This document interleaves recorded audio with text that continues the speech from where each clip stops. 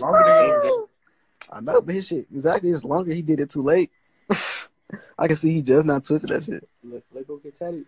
That shit fire. Let go get tatted. He look like he got Down syndrome. So this one, I don't got nothing. You don't got none?